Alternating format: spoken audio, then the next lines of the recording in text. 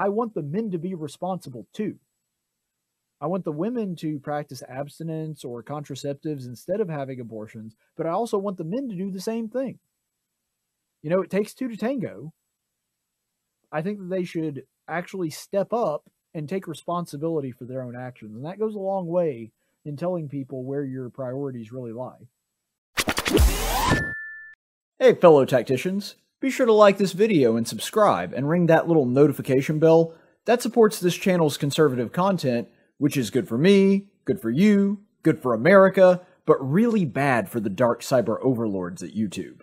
Now I'm going to very quickly go over some of the most common arguments that I've seen on social media and in other places. These are arguments that are not new to the conversation. I mean, we're talking about arguments that have been there for decades since Roe v. Wade came out. So uh, some of these are newer than others or get used more commonly than others, but these are just sort of some of the quick uh, ways to rebut some of these common arguments that you see people on the left and people that are in favor of abortion making. So, first of all, very common one, very easy to rebut. Men shouldn't get get a say. So, there's several very easy ways to rebut this. First of all, you should point out, and I think this is appropriate to do, that that's an ad hominem fallacy. So, for those of you who aren't well versed in formal debate, just explain to the person, well, that means it's a personal attack. It's not actually an attack on the ideas. Like, my ideas can be right regardless of whether or not I have the same experiences as you. For example, right is right regardless of who says it. Slavery is actually a good example of this. Like, based on that standard, Abraham Lincoln shouldn't have been against slavery because he was a white guy. Or, you know, the men that voted for the 19th Amendment, they shouldn't have voted on that amendment because they were men. And so, why should they get to vote on a, a, law that says women have the right to vote now? See, right is going to be right regardless of who is actually saying it. And so, because of that, um, you should always start from a position of you're not attacking, like I said, the person, you're attacking the argument and say, look, if if my ideas and my arguments are flawed, by all means point those out to me. I'm open to criticism. But you saying that I can't say anything because I'm a man, that's just a convenient way to end the conversation. And if you're confident that your position is the correct one, then you shouldn't need to use that as a way to defend your argument. Um, and the thing is, and this is a important point to because sometimes people won't accept that at face value. An important point to bring up is that the truth is there's not as much uh, there's not as much difference between men and women on this issue as you would think. There's some, but it's certainly not all of it. So let's go ahead and look at this poll. This was taken by Vox News, and it was a question back in 2019 about where people stood on the issue of life, men versus women. Now you'll notice the people that identify themselves as pro choice, just barely over 30%, that's actually the same for men and women. The ones that are pro life, interestingly enough, has more women that claim to be pro life than the men. And I wonder if that is because there have been so many men that would otherwise claim to be pro life that are not, because they've heard this argument over and over again that if you're a man, then you're you're not allowed to have an opinion on this. Or maybe it's because there are some men kind of in the the gray zone where they're they're deadbeats and they want to be able to have sex, but they don't actually want to outlaw abortion just in case they need that as a backdoor uh, to to eliminate the child that they've created. There's a couple different reasons why that could be the case, but the point is, even on that stat, not a ton of difference in men and women, and the same goes for the ones who would consider themselves neither or both. So when you say that, when you look at the numbers, it's actually not true that women are significantly more likely to be uh, in favor of abortion than men. So let's look at a Pew Research poll, and this one is a little bit more recent. This is from the year 2022. I think it was uh, May. So this is really only about a month, month and a half old. So if you look at this one, this gives a breakdown of when abortion should be legal or illegal in all or most cases. So you will notice that when it comes to legal, abortion being legal in most cases, women are a significantly higher portion of that. But when you talk about illegal in most cases, it's a little bit more even. And even though 63 is higher than it's been in a while, that still means that there's a significant portion of women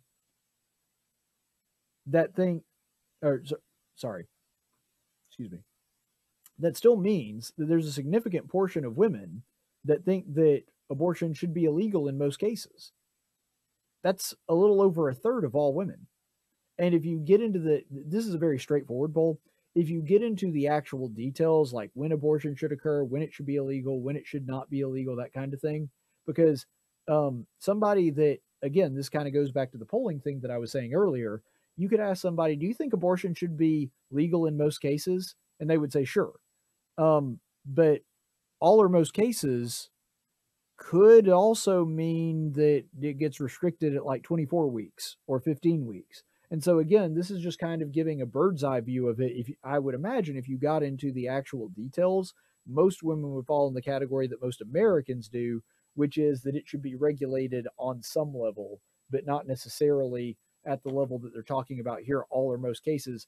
How you define most cases is very important in that question because what somebody might consider most wouldn't necessarily be what the next person considers most. And another thing that I would like to bring up is if you ever do confront somebody that takes the stance on it, a good way to kind of build a bridge is to bring up I do think that we should make men more accountable. Like, I'm bothered by the fact, and I'm not just saying this to win an argument, I genuinely believe this. I am bothered by the fact that it seems on every level we have done everything we can to disconnect sex from responsibility not just on the consent side, but also on the childbearing side, which is the natural result of having sex.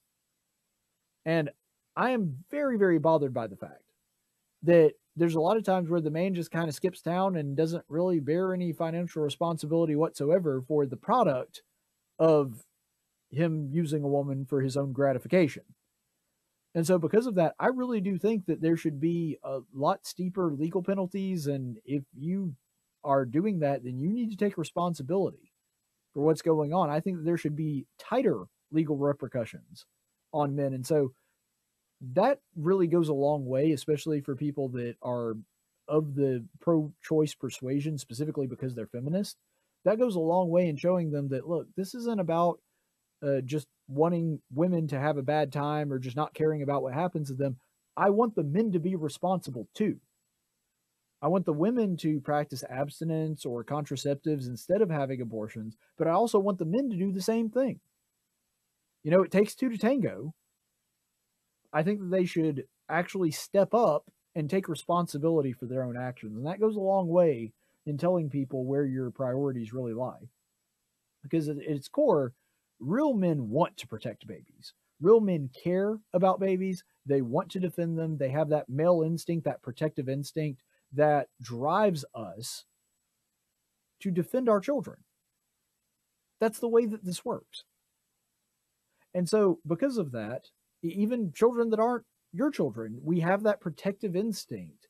And women, even when ones that are feminist and wildly pro choice, when you say that and when you sort of bear that out, when you have that attitude, they recognize it. And they may not even necessarily agree with you because of it, but at least they will respect it. There is something internal in them, unless they've just gone over to full depravity.